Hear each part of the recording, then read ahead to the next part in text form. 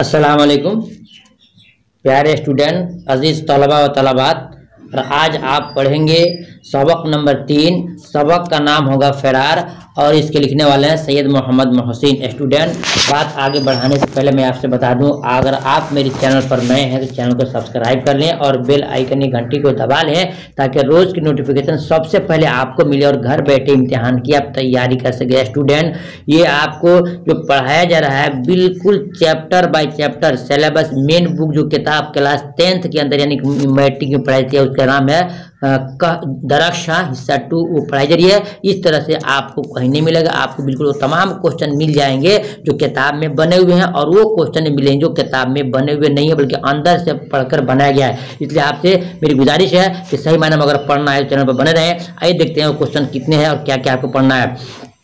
सवाल नंबर एक में है डॉक्टर मोहम्मद मोहसिन की पैदाइश कब हुई? ऊपर आपने देख लिया कि सबक का नाम है फरार और लिखने वाला है मोहम्मद मोहसिन। अब इस दोनों से जुड़े हुए जितने भी क्वेश्चन आएँगे, तमाम आपको मिलेंगे। तो डॉक्टर मोहम्मद मोहसिन की पैदाइश कब हुई? अलिफ 1911 बे 1910 जीम 1915 दाल 1916 स्टूडेंट इसका राइट आंसर होगा। बे यानी 1910 में मोहम्मद मोहसिन की पैदाइश हुई। सवाल नंबर दो देखते हैं। डॉक्टर मोहम्मद मोहसिन की पैदाइश कहाँ हुई? अलिफ, पटना बे मुजफ्फरपुर, जिम, हाजीपुर, दाल, दरभंगा। स्टूडेंट इसका राइट आंसर होगा अलिफ यानी पटना में इनकी पैदाइश हुई। सवाल नंबर तीन देख लेते हैं। मोहम्मद मुहसिन के वालिद का क्या नाम था? अलिफ सैयद मोहम्मद राशिद, बे, सैयद मोहम्मद रशीद, जीम, सैयद मोहम्मद अरशद, और दाल में सैयद मोहम्मद हामिद स्टूडेंट इसका राइट आंसर होगा बे, यानी कि सैयद मोहम्मद रशीद, इनके वालिद साहब का नाम था। सवाल नंबर चार देख लेते हैं। मोहम्मद मोहसिन के अफसानवी के मजमू का नाम क्या था? मोहम्मद मोहसिन के अफसानवी मजमू का नाम क्या था? अलिफ नफ्सियाती कहानियाँ, बे अनहोनी, जीम, अनोखी मुस्कुराहट और दाल में जख्म के फूल। इसका राइट आंसर होगा जीम, यानी अनोखी मुस्कुराहट। सवाल नंबर देखते हैं पाँच में, डॉक्टर मोहम्मद मोहसिन किस मौजू में महारत रखते थे? अलिफ, फलसफा, बे नफ्सियात, जीम, तबाबत दाल सभी में इसका राइट आंसर सही आंसर होगा। बे यानी कि नफ्सियात पर ये महारत रखते थे। सवाल नंबर छः में है, शेर नसाब अफसानों में डॉक्टर मोहम्मद मोहसिन का कौन सा अफसाना है? यानी जो किताब आप धरक्षा पढ़ रहे हैं, उस धरक्षा किताब में सैयद मोहम्मद मोहसिन का कौन सा अफसाना है? अलिफ, फरार, बे आशियाना जीम जख्म के फूल, दाल नफसाती जवानी। इसका राइट आंसर होगा अलीफ, यानी आपको बताया गया शुरू में कि फरार ही इनका अफसाना है। देखते हैं सवाल नंबर सात में, सैयद मोहम्मद मोहसिन ने अपनी अहलिया के साथ हज का फरीदा अदा कब किया? यानी अपनी बीवी के साथ अहलिया, मैंने बीवी, हज कब के करने गए थे? अलीफ, उन्नीस सौ तिहत्तर बे उन्नीस सौ अस्सी जी उन्नीस सौ तीस दाल उन्नीस सौ सत्तर। राइट इसका आंसर यानी सही जवाब है अलिफ, यानी उन्नीस सौ तिहत्तर में गए थे। देखते हैं सवाल नंबर आठ में सैयद मोहम्मद मोहसिन की वफ़ात किस हालत में हुई? अलिफ अलालत की हालत में, अलालत कहते हैं बीमारी को, अलालत की हालत में बे अचानक जीम सफ़र की हालत में दाल नमाज़ के दौरान स्टूडेंट, इसका राइट आंसर होगा अलिफ, यानी कि बीमारी की हालत में, अलालत कहते हैं बीमारी को, अलालत की हालत में। स्टूडेंट मैं आपसे फिर मैं कहूँगा, अगर आप मेरे चैनल पर नए हैं तो चैनल को सब्सक्राइब ज़रूर कर लें और अपने साथियों के पास क्या करना? शेयर ज़रूर करना शेयर ज़रूर करना। इससे क्या होगा? उनको भी फ़ायदा होगा और आपको भी दुआ देंगे। तो यानी कि इस इल्म को सीखने बाद दूसरे को सिखाना ज़रूर चाहिए और वीडियो को लाइक ज़रूर कर दीजिए।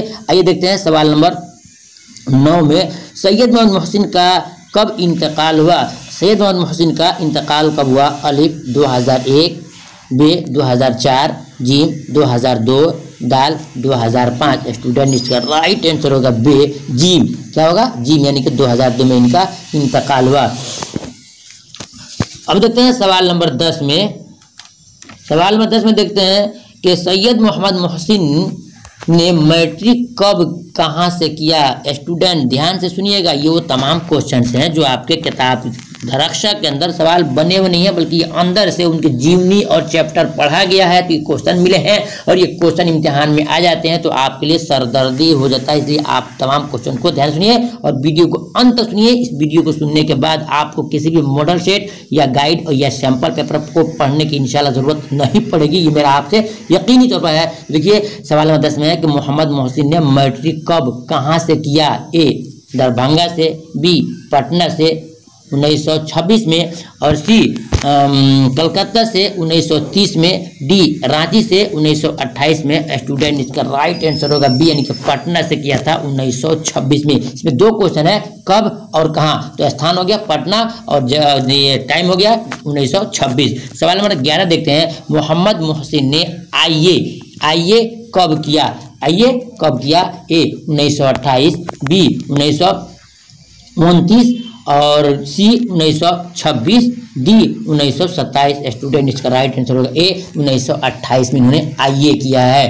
देखते हैं सवाल नंबर बारह में बीए ऑनर्स बीए ऑनर्स कब किया? ये तमाम क्वेश्चन है जो आपसे इम्तहान में पूछे जाते हैं और पूछ सकते हैं, इसलिए आपको कन्फर्मली इसको याद करना होगा। ए 1930 बी 1931 सी 1932 डी 1927 और 27 का राइट आंसर होगा। बी उन्नीस सौ इकतीस में इन्होंने बी अनर्स किया।